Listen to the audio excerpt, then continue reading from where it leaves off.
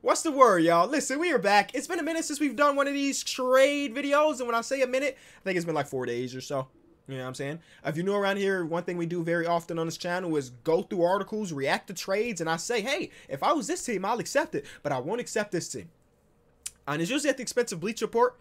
But I have not got a call, a text, an email that said, hey, Kenny, how about you stop talking about our articles negatively? So we're going to continue to do that. I'm, just kidding. I mean, I, I give constructive criticism. Uh, shout out to Zach Buckley. Um, he's usually the guy that's going to be making these trade articles, and for the most part, I he does a solid job at times.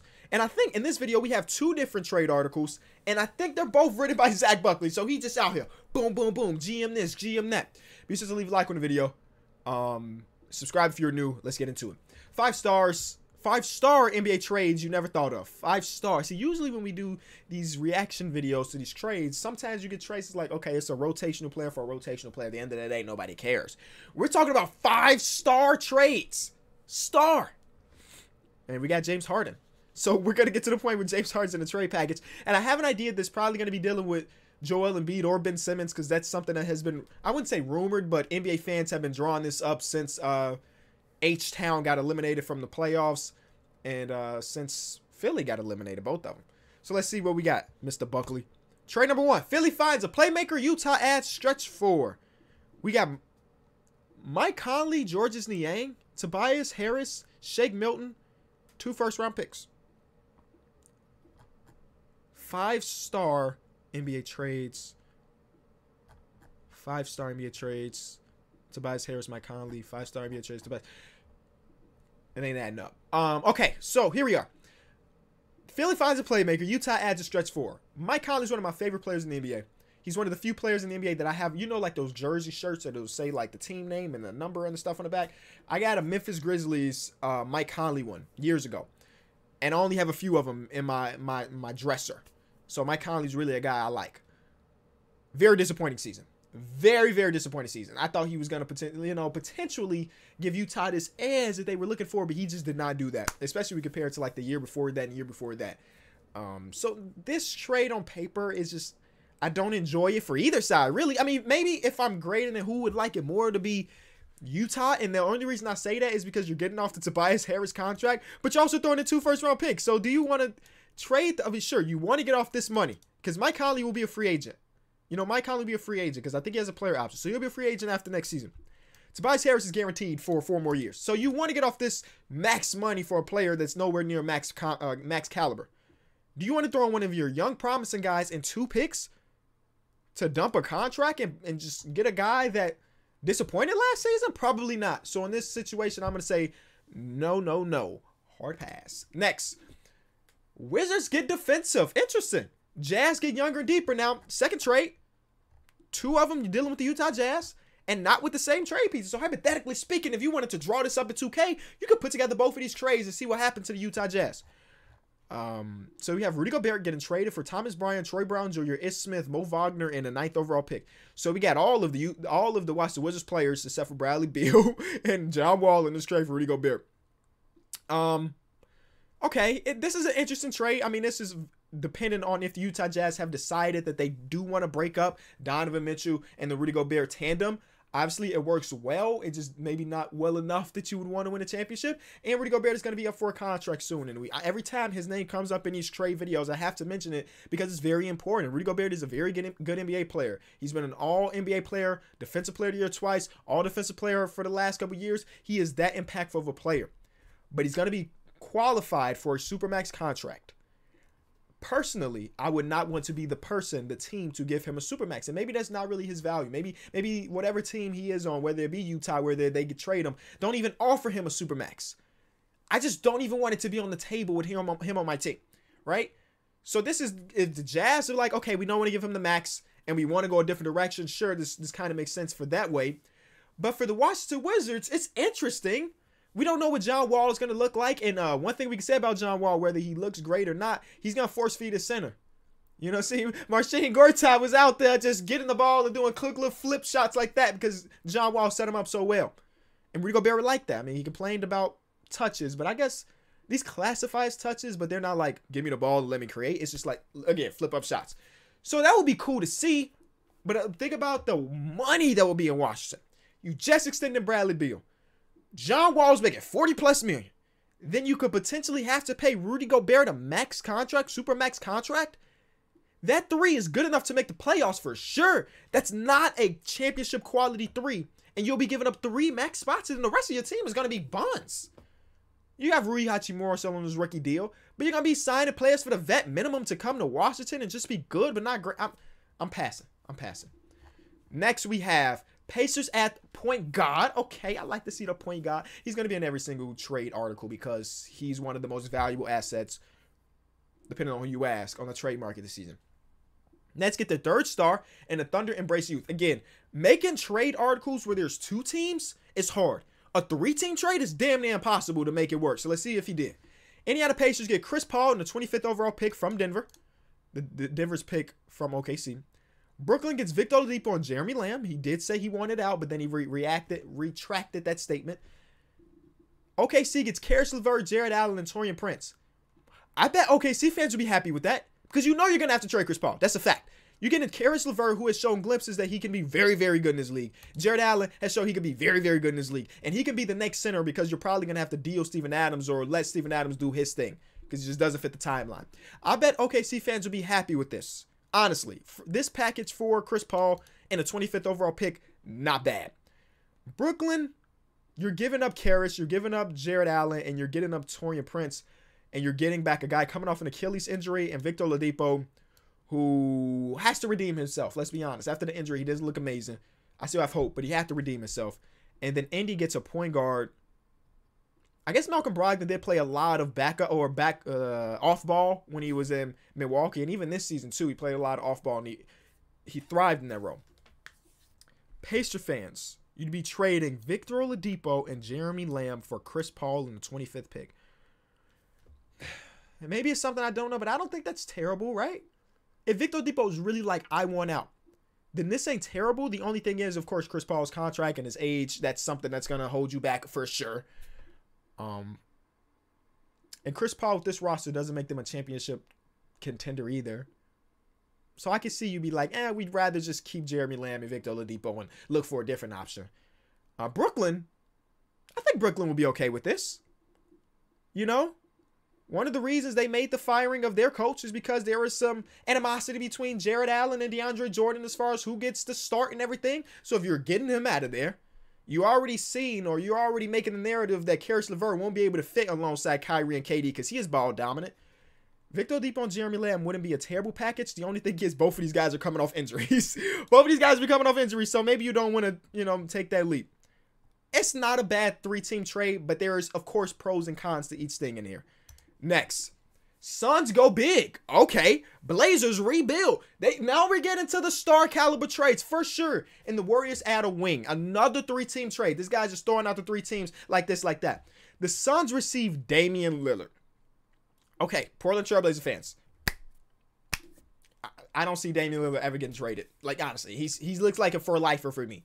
Um, but again, we're just living in this fictional world. Let's see what else what else is going on. So if you are trading Damian Lillard, Portland Trailblazer fans, you're getting back Ricky Rubio, Mikal Bridges, Smiley, Jordan Poole, the second overall pick, a 2022 first round pick, top three protected from Phoenix, and a 2024 first round pick unprotected from Phoenix. Um, the only way you trade Damian Lillard is if he walks into the office and say, "Okay, I'm done." Right? That's the only reason you would trade him. And if you are trading him, sure, you don't get the star player in return that you would probably want, but this is a rebuild. You get Ricky Rubio, who's older, but he'll be off contract very soon. You get Mikal Bridges, who in the bubble we saw that he is a really viable 3 and D option, and I think he's only 23, 24 years old. You get Smiley, who was killing the G League. I'm just gonna I'm just gonna talk you into everything. Smiley was killing the G League. Jordan Poole, I still don't have an opinion on just yet. You get the second overall pick. You get a pick from Phoenix, two picks from Phoenix. Um, you get two picks from Phoenix. Portland Trailblazers fans, you're the real one in this situation, then you'd probably say no. The Warriors would get Kelly Oubre and drop down to the 10th pick. They get a wing that they've been wanting, um, another wing that they've been wanting. And then they still get a top 10 pick. It's just not the number two. Um, I think the Phoenix Suns do this straight. Again, they've been wanting to make the playoffs. You saw they went They were 8 0. But then again, you're probably like, hey, we just went 8 0. Do you want to trade Mikal? Do you want to trade Ricky Rubio? These guys just helped us go 8 0 in the bubble. But it's Damian Lillard. Come on, bro. You, you I, Suns fans will probably do this deal, right? Portland Trailblazers fans, again, this is only if Damian Lillard walks in and say, I want out. You get the second overall pick, you get some young pieces, and then more picks. And then the Warriors get another wing that they can they can add on to the rotation, who can run some four, backup four, or, or four spot if you want to go small with Draymond at the five and Wiggs and Klay and Steph. And then you whoever you get that 10th overall pick. I can say so far, these three team trades ain't terrible. I've seen some really bad three teams trade trades, especially uh especially on Twitter. Next, Milwaukee moves all in. Minnesota adds a star, and Houston resets. Okay. Milwaukee Bucks get James Harden. You gotta show me. Okay, Houston getting Jarrett Culver, a top seven. What was he number five pick last year in that realm? Didn't look great his rookie season, but he, he was a rookie. Donte DiVincenzo, DJ Wilson, James Johnson in the first overall pick, and the 24th overall pick, and a, another pick that's top three protected from Milwaukee that could be interesting. You know what I'm saying? That could be an interesting pick. Minnesota trades the first overall pick and get back Khris Middleton in a second. Same thing, like I said in the other article or the other trade up here. This is if James Harden walks in, it's like, okay, let's. I don't want to be here anymore, right? That's the only way you trade James Harden. At least I think. I thought this was gonna be a trade dealing with Philly. I did not see this happening. The the Milwaukee Bucks getting James Harden would be ridiculous.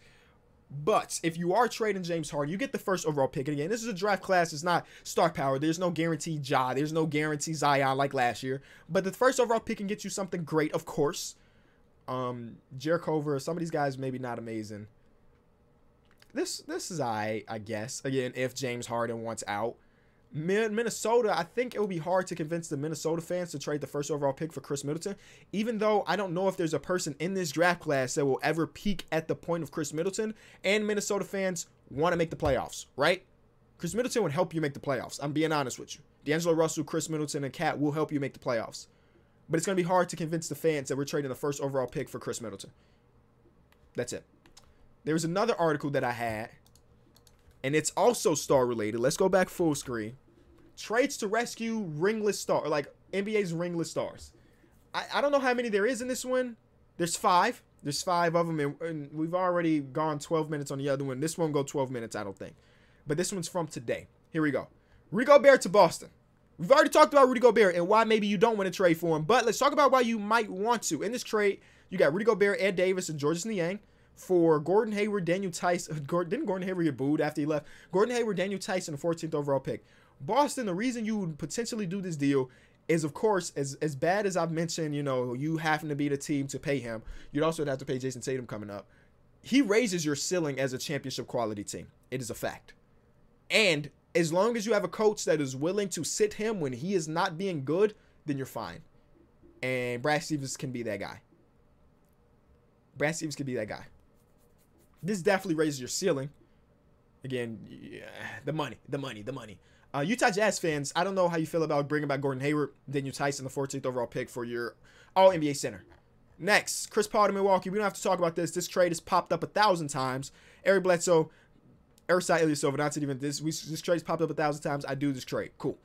Um, Giannis, Lillard get a new run. Hold on. Giannis and Lillard get new running mates? Okay, this is weird. Bradley Beal goes to Milwaukee. Khris Middleton goes to Portland, and Washington gets CJ, Anthony Simons, Nas Little, 16, 24, and another pick that's top three protected. Okay. Trailblazer fans, how do you feel about trading CJ and, and a lot of pieces, by the way? You're not just trading CJ, you traded Anthony Simons, who I still believe that Anthony Simons is going to have a very a decent NBA career. You traded Nas Little, who I didn't see enough of to have an opinion on. You trading your pick, and you're trading another pick to upgrade from CJ to Khris Middleton. Khris Middleton is a better player at this point on both sides of the floor. I think I can say that and not get crucified in the comment section. But is he that much of an upgrade that you're willing to throw this big package at? Probably not. Does does he raise your ceiling more than CJ? Probably so, but does he raise your ceiling to a championship team? Probably not. Um, on the other hand, Bradley Beal would be exactly what a team like the Portland, I mean, uh, a team like the Milwaukee Bucks could need. Because let's let's be honest, bro, that 30's not a fluke. You know, that 30's not a fluke. That guy actually, he's just built like that. Uh, Paul George to Brooklyn. Okay. Caris LeVert, Spencer Dinwiddie, Jarrett Allen, 19th overall pick. I mean, if you're gonna trade Paul George, this is not a this is not a bad return for Paul George. Honestly, it's not. It wouldn't be a bad return for Paul George. Uh, Caris, we already talked about, you know, how he showed signs of being very, very good and he can play on ball. Uh, Spencer Dinwiddie, shout out to Spencer Dinwiddie, very solid. Jarrett Allen, I mean, you probably have to let Montrezl Harrell walk, so Jarrett Allen coming in and playing those minutes would be cool. And then you also get a pick. I don't hate this. I wouldn't hate this trade if I'm the Clippers. If you're looking to get off Paul George at this point before he becomes a free agent next season, not a bad return. And for the Brooklyn Nets, we know Paul George's ceiling. We know his ceiling. And in this situation, you wouldn't have to rely on him to be your second best player. He'd be your third best player. Right? Yeah, we can we can say that. Yeah, yeah, he'd be your third best player. And then lastly, we have James Harden to Philly. This is the trade I thought was going to be in the first article. James Harden for Ben Simmons, Mike Scott, Zhaire Smith, and a 21. I think it's an interesting little thing. I think it'd be interesting, honestly. I think it'd be very, very interesting. I, I would love to see the Houston Rockets have Ben Simmons with the shooters around him. And I would love to see Philly have a guy like Joel Embiid. It's been a long time since we've seen James Harden in like a flowy, good offense. It's just kind of like, give me the ball, I'm going to isolate. I would love to see him in a flowy, moving off the ball type offense. And it's been a minute. So he, he'd probably have to relearn how to run off screens. But it's an interesting trade. That's it. You enjoyed the video, leave it a like. Let me know what you think about these trades. I'm sure your team may have got hit, so let me know what you think about the trades that are associated with your team. Leave a like, subscribe. I'm out. Peace.